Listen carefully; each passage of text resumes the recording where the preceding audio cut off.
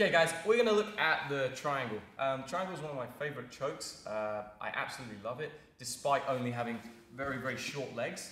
Um, I find it's one of my most uh, successful techniques. Um, and I think it really comes down to a good understanding of body positioning and then how to adjust and how to refine the position so it's super, super tight and mechanically very efficient. So the first thing I want to do is just talk about like what is the triangle and how does it work. Um, so like any choke, what I'm going to be trying to do is cut off the blood supply to Steve's brain.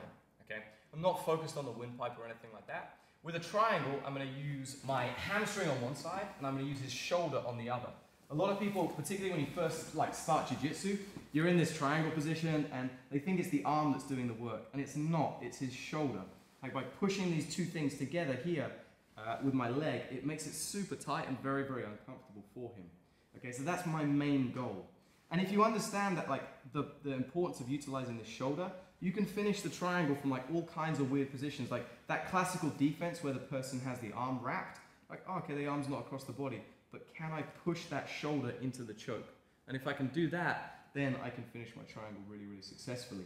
And in fact, the nice thing about understanding how to use their shoulder is people will think they're okay until it's too late for them to even think about defending. Okay? So that's the really, really important thing. The way that we're going to start by setting it up is we're going to talk about like our, our hierarchy of triangles. Okay, so the first thing, pretty much whenever I do a triangle, my first goal is just to catch his head and his arm. Okay, I'm not going to worry about like anything else. If I can't get his arm and his head into the in, in between my legs, none of what else I does matters. Okay, it's, it's not going to make a difference because it's not going to be a triangle. So that's the first thing. The second thing I'm going to look to do, I need to control his posture. Okay, that can come through like using the lapel works okay. I could grab on his head. This works pretty good too. I personally, I like to grab onto my shin. Okay, and there's a further reason for that in a second. Okay, but I need to control something because if, if I don't and like I cross these legs, Steve's just gonna sit up. Yeah, he's gonna create space and oh, I lose the position before I ever get to it. Okay, so number one, I trap the arm. Number two, I look at controlling the posture in some way. Okay, now the way that you get the triangle like super, super tight is by starting to create a good angle. Okay, and for me, what that means that I want to be able to look at doing is being like seeing and looking into Steve's ear. Okay, so I'm trying to get all the way around to the side here. Okay, pretty much like 90 degrees at on if I can. Okay, and this grip on the shin is going to actually help me do that because I can keep his posture broken and I can pull my own leg around the corner and then start to lock it up. Okay. So if you imagine, I'm somewhat flexible and I can pull my own leg to about here, which is okay. Okay, if I grab my shin, I can pull it in so much tighter and get the position a lot, lot stronger. Okay, so again, I've gone here, I've shot, I've crossed my ankles, I bring this all into my chest, that starts my postural control, and then I'll grab my shin and then I can start adjusting from here. Okay, once I get around the corner, and we'll talk about how to do that in a second, the first thing I'm going to do is I'm going to bring this leg over and it's actually going to go down his back. Okay? The reason I go down the back is because I want to come over my shin bone. Okay, not over my foot. My foot and my ankle, they're really, really weak joints. And they're, like, if Steve decides now to explode up, don't explode up, Steve, because you're going to break my foot. Like, you imagine, if he does it slowly, you can see that all that pressure goes through my, my, my small bones and it's weak and it's hard to maintain. Okay, if I come over the top of my shin so that my foot is completely released, now Steve tries to pull up out of it, it's very, very difficult. So when I go here, if this leg comes up over the top, it's much easier to get over the shin bone. Sorry, Steve. it's much easier to get over the top of the shin bone. And then what I can do is make a stopper and kick it out and get my legs in line. And then this is where the mechanical efficiency comes in. I'm going to put my legs like so, so they're basically like scissors you imagine this is like a cigar cutter here, I'm going to scissor my legs and I'm going to drive the pressure from one leg into the other. Okay, and effectively just chop his head off. Okay, and that means my triangle is going to be very, very efficient.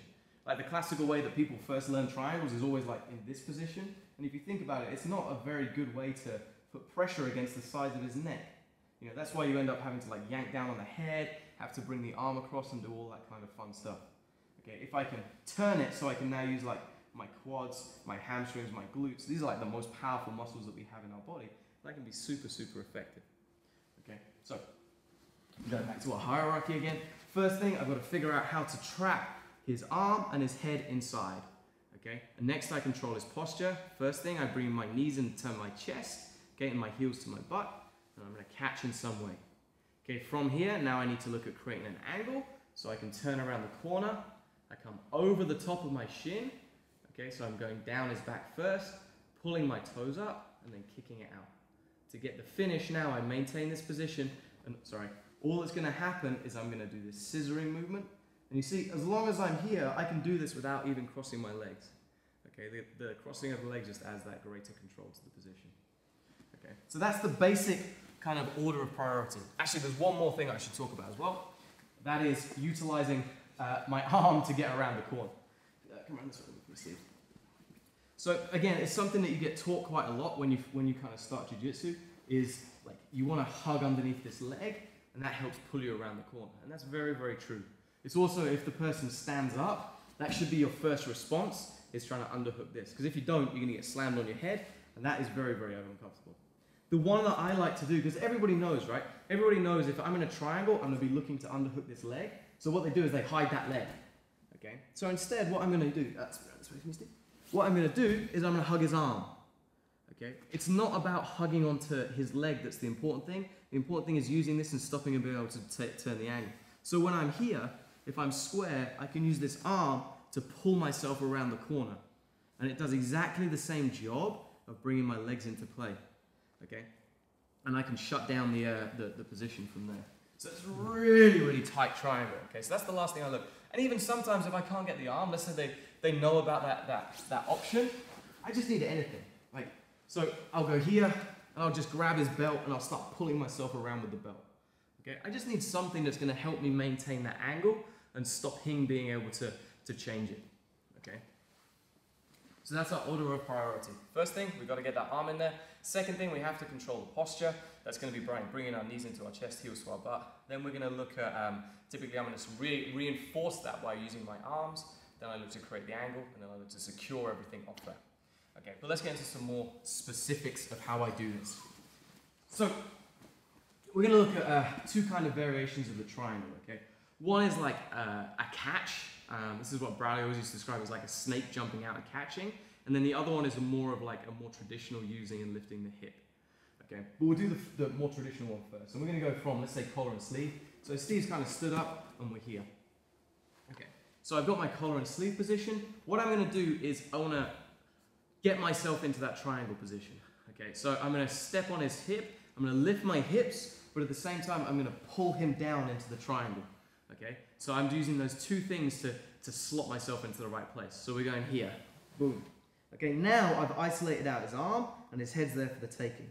I'm gonna lift this leg up as straight as I possibly can here. Okay, so it's going right by his head, and I imagine this like a French guillotine.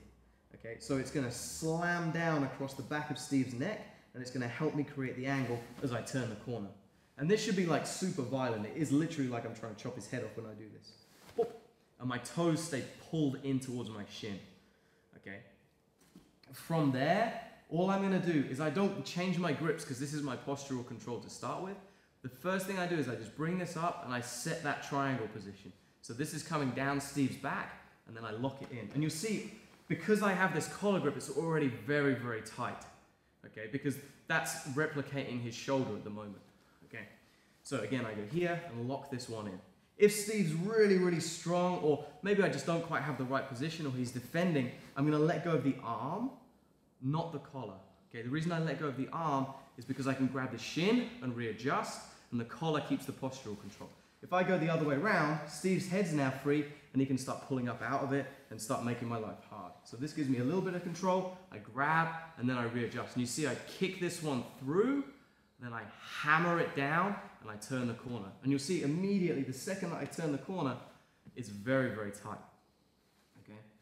If I need to go one stage further, I keep the shin, I let go of the collar, and then I look to underhook something. And typically, I like really like underhooking the arm because it, it kind of cheats me around the corner. Okay, it makes it very difficult for Steve to stack. Sorry, Steve. It makes it very difficult for Steve to stack me, okay, or utilize his arms to put pressure on me. Okay, and without actually really moving myself, I'm moving kind of Steve into the position, and then again I can finish from there, and I just do that curl. And it will be super, super tight, okay? So again, me. Thank you very much. So I'm setting up my collar and, uh, collar and sleeve position here. Need to isolate out the head and the arm. I'm going to lift my hips, pull Steve down into position. Leg shoots up, and now at this point, I keep those toes pulled in. It drops down on the back of Steve's neck here and helps me turn the corner because I'm pushing off the hip and locking this in. Okay, already I'll have started scooping that shoulder into place. I can then point those toes, leg comes across the back, and then it scissors, and it will be very, very tight straight away. Okay, if it's not tight, or maybe I'm just kind of in this position, I let go, I grab my shin, I lock it in deeper, and then I try to squeeze. Maybe it doesn't work, so I release, I come underneath the arm or the leg, and then he's dead from there. One other really nice detail about the shin is it prevents him from like blitzing around the angle. You always get those big guys, right? You shoot the triangle, okay, and then immediately they start turning the corner and smashing you down, okay? By grabbing onto my shin, if you come around this way me, Steve, by grabbing onto my shin, come down a little bit. What happens is, as Steve goes around the corner, his head stays in the same place. Like if you imagine when Steve turns, he wants his head to go back in this direction. Keep going around for me, Steve. And then he will be able to pass. But what's happening when I grab my shin is come down. When I grab my shin is, or I'll do it just by holding onto Steve's head. If Steve tries to turn the corner, he can't get that line. So when I grab here, all that happens is as Steve turns the corner, it actually puts the choke on tighter because he's now forcing his own head into the hamstring. Okay, so it works really, really well from there. Okay, one more time, all the way through. I'm here, I elevate, I lift, I drop this one down. Okay, first thing, I cross in some way as best as I can, leg coming down the back, strong toes. Grab the shin, readjust again so it's super tight, and then I pull myself around the corner if they're not already tapping from there. Okay, so that's kind of my priorities when I, when I do this. The nice thing about um, setting up in this position is I don't need to re-step on the hip. I've created a little bit of the angle um, within the triangle, within the initial setup itself. All right. The second version is like the catch version. Okay, and it's like, a, like I said, it's just a snake coming out. So what happens is you like, maybe you see this little bit of separation from his elbow, and what you do is you just lift your hips and you jump and pull. Okay? So right now, unlike the other version, I've, I don't have any angle to work with at all. Okay, I have Steve's head and his arm and I have some posture control, but I don't have to work with that. If you remember in the first one I said, when you lift up, this chops down and helps me get to the angle. So I have a little bit of angle. In this one, we're square. So what am I gonna do? Honestly, it's very, very similar to start with. I grab the shin, and this time I will grab his head as well. I wanna double up on that so he really can't escape. Now from here, I'm gonna step on his hip. And a really important detail is I have to keep this knee tight. Okay, if I let this go loose, Steve's just gonna pull his elbow back and I won't have the triangle anymore. So what I do is I keep this tight and now I step on his hip, turn the corner, and then when I relock. When I relock, I use the friction of my leg up his, uh, his shoulder. And you'll see that already starts to put the pressure into the triangle. So when I go here, it goes up, and then I lock it. The same way it gets locked. It goes down the back first, my toes pull up, and then I stamp it in, and I get the finish from there. Okay? Steve's getting very, very red, and I'm getting a little bit concerned. So again, I'm here, I use the second method, I just see there's that little bit of space, I jump, catch, and bring him down. Okay, so I'm pulling him in. I'm now gonna go shin, and I'm gonna go head to control. That's gonna allow me to step, and I can push and turn the corner. Okay? Again, keeping my, my knee in nice and tight. From here, this one's gonna slide up. I'm gonna try and catch his shoulder as best as I can, lock down his spine, pull my toes up, kick it out. Okay? And then, again, I can underhook as necessary. So, the, the, the individual steps are pretty much the same, but the order of priority is adjusts kind of based on um, what, the, what the person does or how I enter into it. Okay? So that's our uh, basic kind of understanding of the triangle, the two different variations of the setup. And like I said, one of the most important things is I love that shin grip. That shin grip, it makes it so, so tight. It really makes it difficult for um, the person to maintain their posture, um, and I can cheat a lot of the angles, okay? So a couple of things that you'll kind of commonly see. We've already discussed one of them, and I'm gonna try and do these nice and lightly for Steve. Uh, so just go to your knees, please, Steve. Let's say I've set up the triangle here. We already talked about that, the person kind of punching their way around the corner here. Yeah, he starts to turn the corner. If I have this shin here, sorry, this uh, forearm on the, the shin, when he turns the corner, he just bites in deeper into the triangle. Makes it really, really nasty. And it, it, like you'll feel it. If you want to practice it, just check it out. Like the, uh, the, the, the suddenly you realize when you turn in the corner, it's not really a good defense and you just get your head squashed. Um, the other thing that you can do as well, uh, back up, when I'm here, I shoot that triangle up, okay, and now Steve's kind of more up on his feet, so he's standing up, really pressuring in. Sometimes what I like to do, if I'm in this position, I feel like I'm getting squashed, I'm gonna keep hold of my shin, and I'm gonna pull myself underneath. And then eventually, he's gonna come down towards the ground. The nice thing about this is all we've done is change position, and I can close the space off exactly the same way. Okay, so one more time. Uh, come over the side, And so when I when I hook this up, uh, you can have this arm whatever, it doesn't matter too much. Like I say, it's not about the arm, it's about the shoulder. So when I hook this up, if Steve stands up and he's a little bit too strong for me, he's not really turning that corner, so he's just really trying to stack me. I can just underhook his legs, or I can push off his leg. I can go this one first, the other one first, but I pull myself around. That completely changes the angle, and I bring it down and I keep it tight. And again, because I'm holding my shin, there's not really a lot of. Uh, the beautiful thing about this is it doesn't take my leg strength to keep the position locked.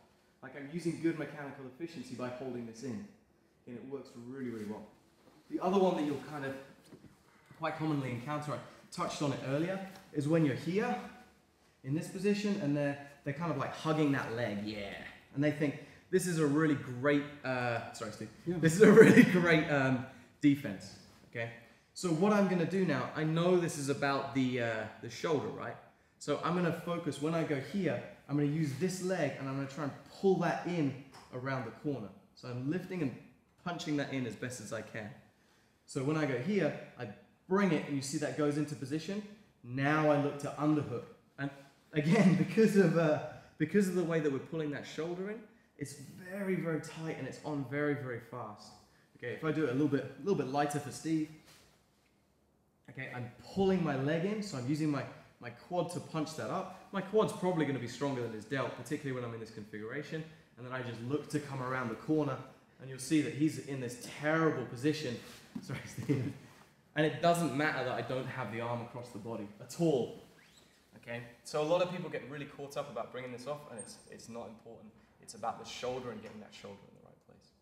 Okay, guys, so hopefully that, uh, that was informative for you guys uh, and it helped you adjust your triangles and realize the importance of the shin grip.